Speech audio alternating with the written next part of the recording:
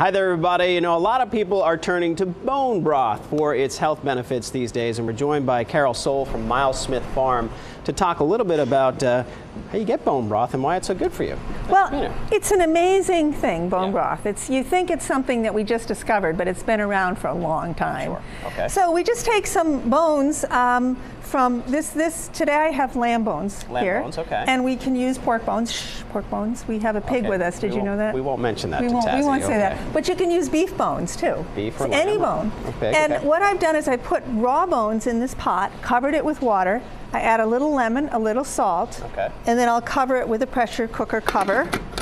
And You like um, pressure cooker. I love the pressure very cooker. handy, yep. It is. It, it does things very quickly. Sure, It does yeah. things very quickly. And the cool thing is you can do it this way with raw bones, Okay. or you can bake your bones, and that gives a whole different flavor. It gives a roasted flavor to Got the it, okay. So you can do that, but it's the same process of putting them in the pressure cooker or an overnight slow cooker. Got it. A, a slow cooker, you'd have to do uh, 12 to 24 hours. Okay, so it takes a while. It does. Okay. It does. It's not a quick process. But did you see the color of the bones? They're just white.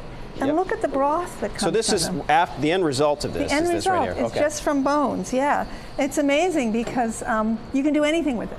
okay. It And helps your digest. So that's that's the point of it. You want to drink it because it helps you digest things, makes you feel healthier. Right? Yes, it does. And you can either warm it up and have a little sip in the morning with breakfast.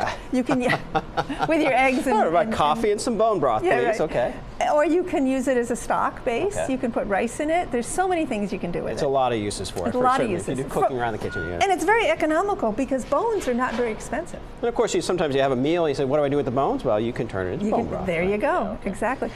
Uh, talk a little bit about Miles Smith Farm for folks who don't know about it. We are a beef farm. We raise grass-fed cattle in Loudon, New Hampshire.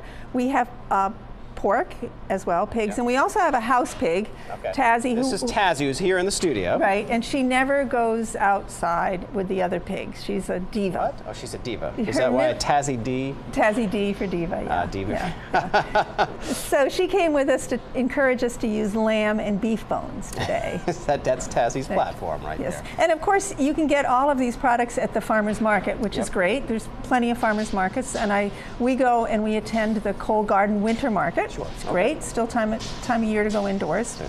And you got your beef and you have sausage there. We have like- yes, we, we sell sausage at the farm store, and there- Yep. there's other vendors at the farmers market that have sausage. Oh, great. But we have uh, we love our sausage and we love our bone broth. It's good for you. Good for your show. Yeah, You it is should good. I'm gonna try wanna some of this bone broth. Can I give you some? Uh, uh, maybe we'll try that in a couple minutes. But Okay. people want more information. What's the website?